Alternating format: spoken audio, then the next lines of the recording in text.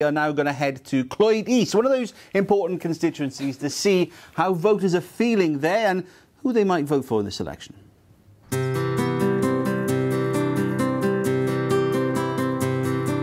Beautiful countryside, charming market towns, and the seaside. This northeast corner of Wales has a lot to offer. The new constituency of Clwyd East is made up of parts of four former constituencies Clwyd West, the Vale of Clwyd, Clwyd South, and Delyn.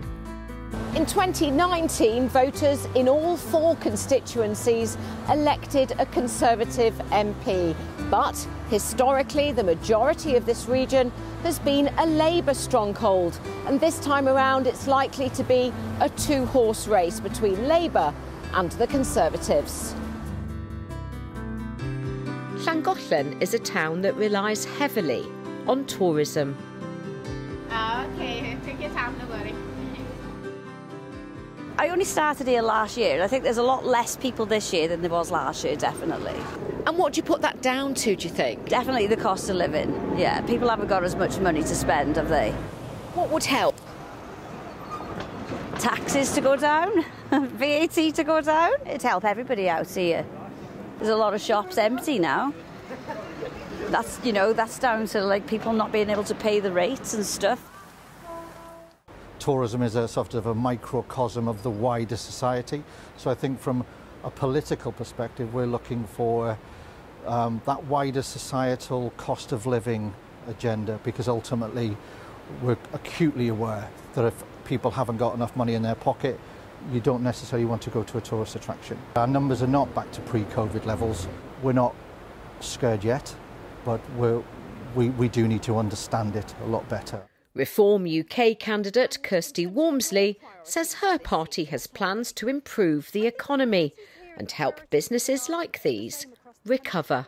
I think the things that concern people most is the cost of living crisis. People are really feeling the pinch, and I think what they're looking for is an alternative political party that can help get the economy boosted, get the economy moving again. And how will reform do that? It's easy to say, it's harder to do. We want to raise the income tax threshold to £20,000, which would actually free 7 million people from paying income tax. Um, so that would make a real difference to the amount of money people have in their pockets that they can spend in these beautiful shops here in Llangollen and across the constituency. Named after St Winifred's Well, still a site of pilgrimage, the market town of Holywell's more recent past has been one of industry. Hi, now, what are you going to tell us about the miners? They're a grand body of chaps. Now, like many other small towns, its high street is struggling. The window was full, it's been hit already, we're filling them up now, yeah.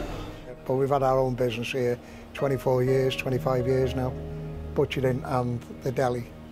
Uh, yeah, I think a lot of the shops are struggling in the town because of the footfall. And they've still got their big bills to pay like us all, haven't they? I haven't got much faith in any politicians at all. And I think that's it basically. I don't think it matters who gets into power, but it is as it is. And why have you lost faith in the system, it seems?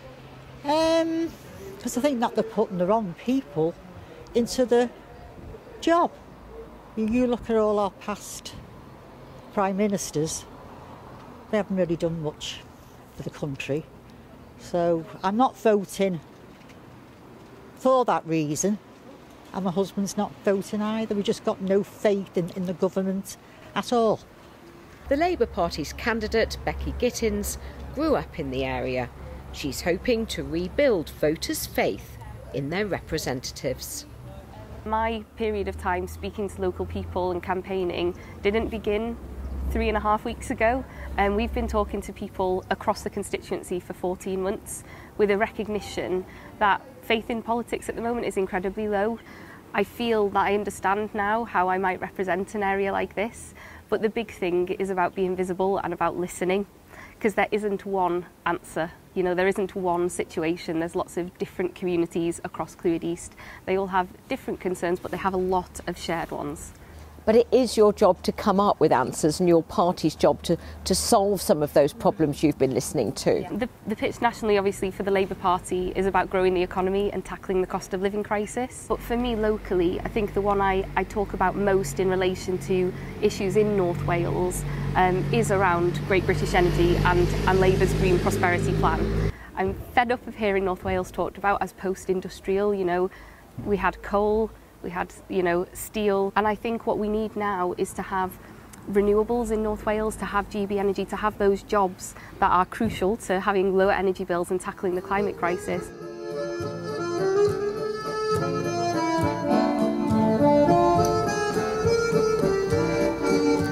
Mold is one of five market towns in this new constituency and it has a thriving high street. Households tend to fare pretty well here traditionally.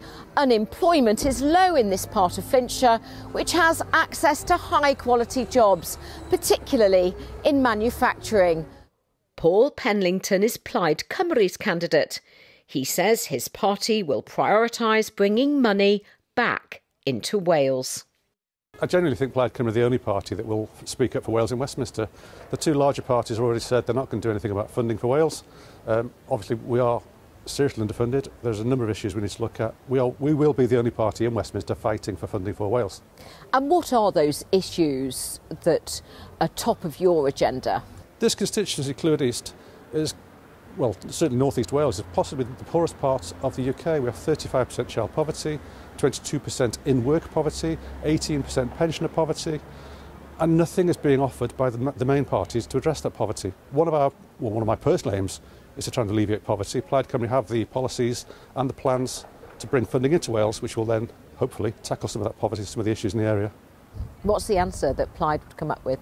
Um, well, again, it comes back to fair funding. If we, bought, if, we, if, we, if Wales was funded the way it should be, tens of billions of pounds would come to Wales. We could invest that in industry, invest that in public transport, invest that in education, invest that in eradicating poverty.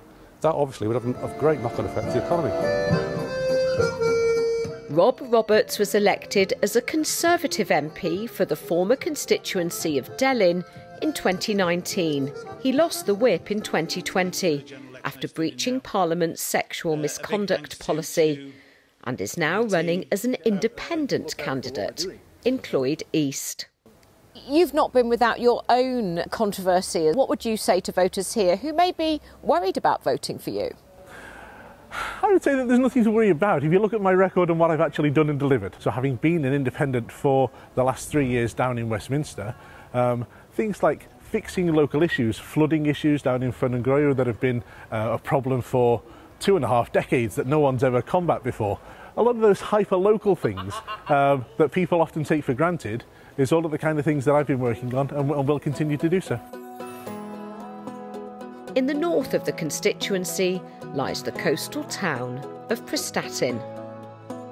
Dr James Davies is the Conservatives candidate. He was first elected as the MP for the Vale of Clwyd in 2015 and took it again in 2019 after losing the seat to Labour in 2017. The key point is looking forward and seeing who will best deliver for North Wales. And I would strongly argue that if you look at the North Wales Conservative MPs that have been in, we have uh, really been shouting for the region and have achieved things. You see uh, the pledge to electrify the North Wales main line, a billion pounds. You see the pledge for Wylfa to uh, be built in an Anglesey, the investment zone in Flintshire and Wrexham. All of those things are in our manifesto to deliver, along with uh, continued shared prosperity funding. And you look at the Labour manifesto, and it's very, uh, very absent from there. But you've had 14 years to deliver those things. Why has it taken you until now to give that commitment? Mm. Well, yeah, I think you have to remember that actually Conservative MPs in North Wales were elected in 2019 by and large, so uh, there has been a strong Conservative voice for North Wales since that time only. Prior to that, the government, of course, was dealing with the problems of the day, but it takes local champions to fight for what they need for their region, and that's what we've been doing. I've got a record that I'm proud of, and uh, I'm trying to. Uh, speak to people in the areas that are new to me and, and, and communicate to them uh, my work ethic and what I've been trying to do as MP.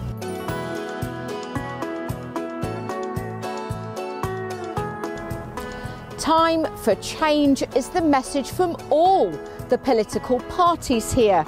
Prestatyn is faring quite well. The high street is full of independent shops, but business owners here say economic stability is the key and the cost of living crisis is still hitting customers in their pockets. We've had so many changes. We've had changes to the bins in Wales, we've had rate changes, um, ongoing things that are still increases in prices of products, of our overheads. So we just need a bit of help to help us keep going at the moment. What's on your mind as you come to put a cross in that box? Cost of living, future of children, um, yeah, I mean everything. Everything. Nothing works. Absolutely nothing works. What are your priorities? What are you looking for in your new MP? Um, honesty and straightforward. Lot, lot less politicians speak and tell us what's really going on. Um, and uh, yeah, stick with what you say you're going to do. Alec Dauncey is standing for the Liberal Democrats. He says Clwyd East has some of the highest rates of child poverty in the UK, and his party wants to raise some taxes to help tackle this. If you look at, look at some of the think tanks and people who look at this, that say that 70% of people would be better off um, under our tax arrangements. It really is a manifesto for fairness, I think. But your critics would say it's easy to promise the world when you know you're not going to be in power. Yes, that's that's absolutely true. I mean, the guarantee is that the maximum number of Liberal Democrat MPs that are elected will be raising these issues and saying, come on, we've worked out these plans. Why don't you do this that will help um, child poverty or do this that will help carers?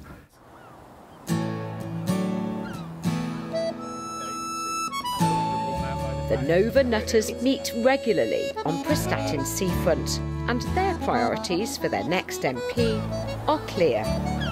Cleaner waters is top of my list because I haven't actually been in for I must it must be about six weeks, and I used to come like t- sometimes twice a week, every week, right through the winter, and I just think it's really sad that it's on our doorstep. It's completely free, and we haven't been able to to, to do it. And yeah, that's... actually saying uh, with with mental health being high on the agenda, yeah. I think it is so important to, to have that as Definitely. an option because it's fabulous for your mental health.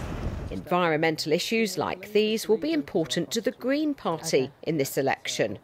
And their candidate, Lee Lavery, hopes voters here will be looking at the bigger picture. Well, we're looking at um, decarbonising the energy network by 2030, which is way before the, the current estimates, but we need to do that as quickly as we can to make a real difference. How difficult is it to sell that message on the doorstep when people are going into this election poorer than when they went into the last one? I, I'm ultimately, I think uh, people have got to think of this as an investment. It's an investment in the in the planet, in individuals, in families, in businesses, in that if we don't do anything about climate change, it will affect us. It will increase prices in the future. The question for all candidates hoping to win votes in Clwyd East is whether they can convince voters that they are the best person to draw Westminster's attention to the issues which matter to them here in North East Wales. Um, I go regularly to volunteer at a food bank, um, and you know it's just there's lots of all all ages are there, young ladies with uh, with children and older people, and um, I don't think the people in London or Cardiff, I don't think they really know what's going on and how much it does cost for a pint of milk, for example. Tracy, what would your final word be uh, to the candidates standing in this new seat? have a look around, talk to the people in the street, get a feel for what's actually going on. Listen. Listen, yeah, yes. definitely. Listen to us, definitely. Politically, this area has ebbed and flowed back and forth between the two main parties. The 2019 election turned a sea of blue, but Labour will be hoping to turn that tide back on July the 4th. It's a beautiful part of the world. And here is a list of all the candidates standing in the uh, Clwyd East constituency on, of course, July the 4th, when the election will be taking place. And that's it for now. Plenty more on the website. The address, as always, itv.com forward slash Wales. But from all of us here, nos da.